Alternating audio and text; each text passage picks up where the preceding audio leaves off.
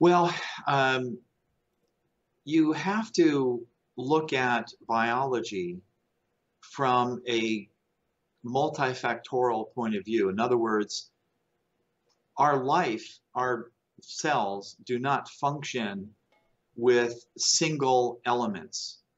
They function with all of these elements in a special order and a special organization. Unfortunately, modern medicine has developed itself based upon reductionism. These are studies where you break something down, let's say a, a pancreatic cell that you are studying to see why it's not producing insulin.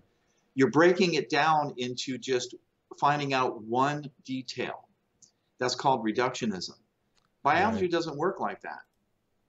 In the case of uh, gene therapy, which is what we just were talking about, which offers hope for, for someone like you, um, the original investigator said, uh-oh, for 100 years, we've been training our physicians and our medical scientists to do reductionism, to study the one thing and then to add, try to add those up to get the whole.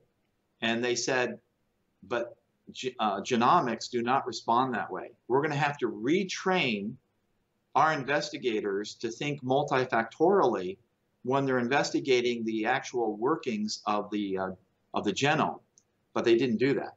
They don't know how to do that. So we're still using reductionism to break things down into one element, expecting that by adding all of those single things that we found in that were published in PubMed, that it's going to add up to the whole, right. but it doesn't. Yeah. so point. if you look at that, let me, let me talk to you about that change just for a second. When MRI was just becoming invented.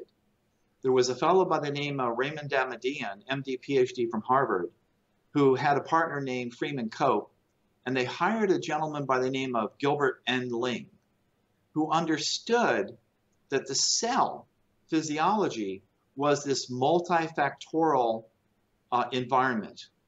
And with MRI, they could, for the first time, look at the living cell without destroying it or freezing it in place like it was a mo- like life is a movie and what we had been do- able to do up to that point was only to take one picture frame.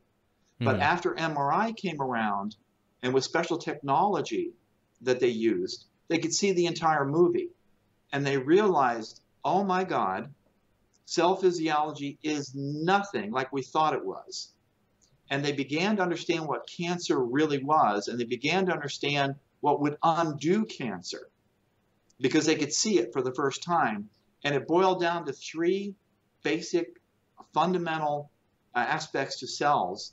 And when they were able to put those back in to, let's say, congestive heart failure, or to a really decayed pancreas, or to uh, cancer, they were able to reverse it not only to get rid of the disease, but to unage the tissue up to 10 years and they published that.